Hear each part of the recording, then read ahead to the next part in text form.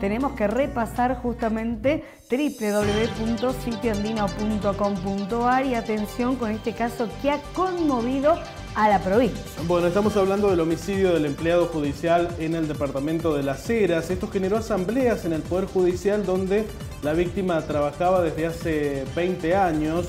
Recordemos el homicidio de Fernando Díaz, el hombre que fue asesinado durante un intento de robo allí en ese departamento, ha generado una fuerte conmoción en el Poder Judicial. Bueno, el hombre era notificador y justamente fue asesinado cuando se dirigía a trabajar en la mañana del miércoles. Exactamente, se dirigía a trabajar y lo mataron para robarle un gravísimo hecho de inseguridad. El crimen fue el tema de la jornada. El gremio de judiciales expresa su profundo pesar por la pérdida irreparable de nuestro compañero de trabajo Fernando Díaz, quien trágicamente perdió la vida en un acto de violencia mientras se dirigía a cumplir con sus labores diarias.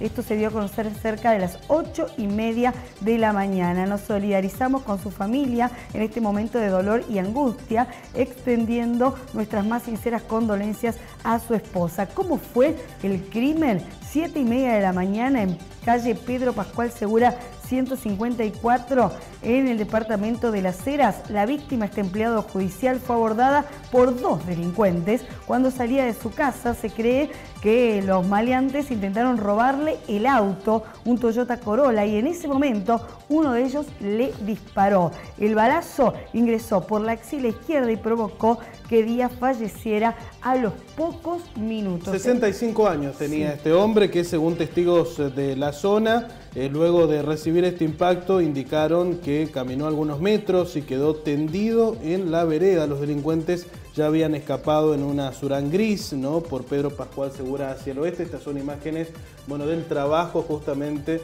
de las fuerzas policiales, científicas y demás en torno a este crimen que ha conmocionado al Departamento de las Heras y también al Poder Judicial. Un Surán, en un Surán se escaparon los delincuentes, la verdad que un hecho que preocupa y muchísimo. Estamos acostumbrados a verlo en los medios nacionales, sin embargo, lamentablemente en Mendoza también pasa ¿no? esto de matar para robar. Los médicos, otro tipo de sitio andino se manifiestan en las calles en reclamo de mejoras salariales. Recién escuchábamos lo sucedido también en el Hospital Enfermeros Argentinos. 1% ha sido lo que ha ofrecido el gobierno para noviembre, 1% para diciembre.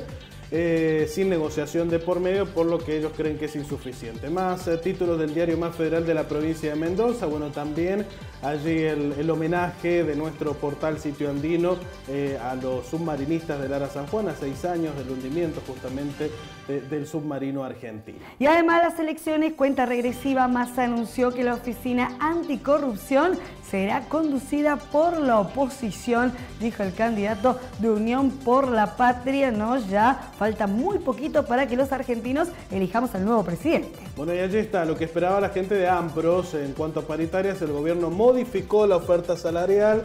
Habrá novedades en las próximas horas. Eh, por el momento, el paro será durante esta jornada y estarán en estado de asamblea. Muy bien, algunos de los principales títulos. Vuelve a subir el dólar oficial, el nuevo valor lo encontrás también allí en www.sitioandino.com.ar y además, sorpresa ante todo pronóstico, Boca confirmó la lista oficialista de cara a las elecciones. Recordemos que Juan Román Riquelme es candidato a presidente. O sea, se y del otro lado está Macri. Del otro lado, Mauricio Macri. Se invirtió la, dupla porque era Jorge Amoralmeal, actual presidente de Boca, y Juan Román Riquelme, el vice. Bueno, ahora la fórmula es al revés. Realmente será una batalla imperdible, ¿no? Allí en quién conducirá los destinos del club, ¿no? Muy bien, parte de los títulos de Sitio Andino a través de su versión digital.